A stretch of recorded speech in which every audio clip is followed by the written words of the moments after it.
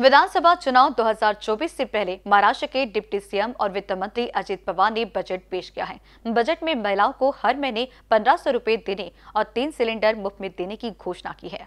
श्री संत तुकाराम महाराजांनी वर्णन केलेल्या महाराष्ट्राचा आराध्य दैवत श्री विठ्ठलाच्या दर्शनाला अवघ्या महाराष्ट्रातून वैष्णवांच्या दिंड्या निघाल्या आहेत. जगद्गुरु संत तुकाराम महाराजांच्या पालखीचे आजच देहूतून प्रस्थान होते आहे. ज्ञानेश्वर माऊलींची पालखी उद्या आळंदीवरून निघेल. साधारण हजार वर्षाची परंपरा असलेल्या या वारीशी वारकरी भक्तिमार्गाशी महाराष्ट्राची नाळ जोडलेली आहे. याची जाणीव या सरकारला आहे. महाराष्ट्राची ओळख म्हणून जिची जगभर दखल घेतली जाते त्या पंढरपूरच्या वारीचा म्हणूनच आपण जागतिक वारसा नामांकनासाठी युनेस्कोकडे प्रस्ताव पाठवतो आहेत. आपल्या परंपरेची पताका खांद्यावर घेऊन जाणाऱ्या लाखो वारकऱ्यांविषयी कृतज्ञता म्हणून सरकारने या वर्षापासून प्रतिदिंडी वीस हजार रुपये निधी देण्याचा निर्णय घेतला आहे. निर्मलवारीसाठी छत्तीस कोटी एकाहत्तर लाख रुपयांचा निधी उपलब्ध करून दिला आहे. मुख्यमंत्री वैद्यकीय सहाय्यता कक्षाच्या माध्यमातून देहू आळंदी ते पंढरपूर या दोन्ही मुख्य पालखी मार्गावरील सर्व वारकऱ्यांची आरोग्य तपासणी केली जाणार आहे. आवश्यकतेनुसार मोफत औषधोपचार देखील केले जाणार आहेत. कीर्तनकार वारकरी भजनी मंडळ यांना सोयी सुविधा उपलब्ध करून देण्यासाठी तसेच पालखी मार्गाचे व्यवस्थापन करण्यासाठी मुख्यमंत्री वारकरी संप्रदाय महामंडळ स्थापन करण्याचा निर्णय घेण्यात आलेला आहे. लोकसभेच्या नुकत्याच झालेल्या निवडणुकीमध्ये राष्ट्रीय लोकशाही आघाडीला बहुमत प्राप्त झाले आहे. केंद्रात माननीय श्री नरेंद्र मोदीजी यांच्या नेतृत्वाखाली सलग तिसऱ्यांदा सरकार स्थापन झाले आहे. माननीय पंतप्रधानांचे देखील मी त्यासाठी आपल्या सर्वांच्या तर्फे मनपूर्वक अभिनंदन करतो. महाराष्ट्राला सहकार्य करण्याबाबत केंद्र शासनाने नेहमीच सकारात्मक भूमिका घेतली आहे. केंद्र शासनाच्या तिसऱ्यांदा सरकार आल्यानंतर पहिल्याच मंत्रिमंडळाच्या बैठकीमध्ये महाराष्ट्र राज्यातील शहात्तर हजार दोनशे कोटी रुपये किमतीचा वाढवण बंदर प्रकल्पाला मंजुरी देण्यात आली आहे. त्यामुळे राज्याच्या आर्थिक विकासाला चालना मिळणार आहे. त्याद्वारे दहा लाखाहून अधिक रोजगार निर्माण होणार आहे. यापुढील पाच वर्षही केंद्र शासनाचे असेच भक्कम पाठबळ राज्याला लाभेल याची खात्री मी बाळगतो.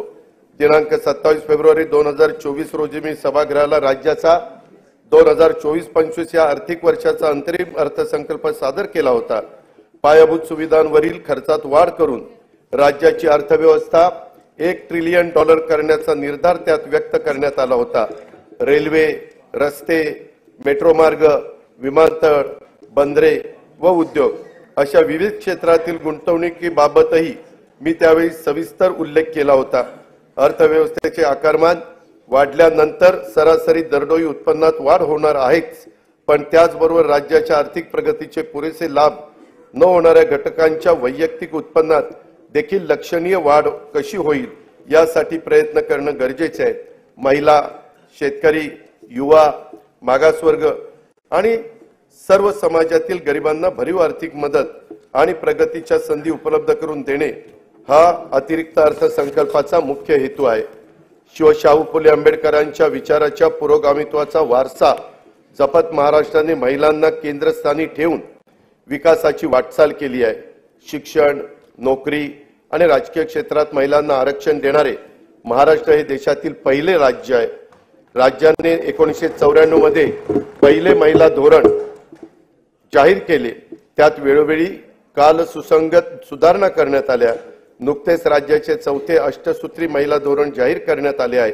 महिला व मुलींना सामाजिक प्रशासकीय आणि राजकीय क्षेत्रात समान हक्क व दर्जा प्राप्त होण्यास करता पोषण आहार स्वास्थ्य शिक्षण उद्योजकता तसेच कौशल्य विकास आणि रोजगारांसाठी विविध योजना प्रभावीपणे राबवण्यात येतील. मुलींचे जन्माचे स्वागत करणारी आणि तिला वय वर्ष अठरा पर्यंत अर्थसहाय्य करणारी लेख लाडकी योजना गर्भवती मातांचे आरोग्य व संस्थात्मक प्रसूतीकरता जननी सुरक्षा योजना प्रधानमंत्री मातृवंदना योजना बचत गटाच्या माध्यमातून ग्रामीण महिलांचे सक्षमीकरण बस प्रवासामध्ये सवलत महिलांच्यासाठी विशेष बस घर खरेदीसाठी मुद्रांक शुल्कात सवलत कौटुंबिक समस्याग्रस्त महिलांच्यासाठी शक्ती सदन योजना नोकरी करणाऱ्या महिलांच्यासाठी व्यवसाय करातून सूट महिला वसतिगृहे महिला केंद्रित पर्यटन धोरण अशा विविध योजनांची प्रभावी अंमलबजावणी करण्यात येत आहे. स्त्री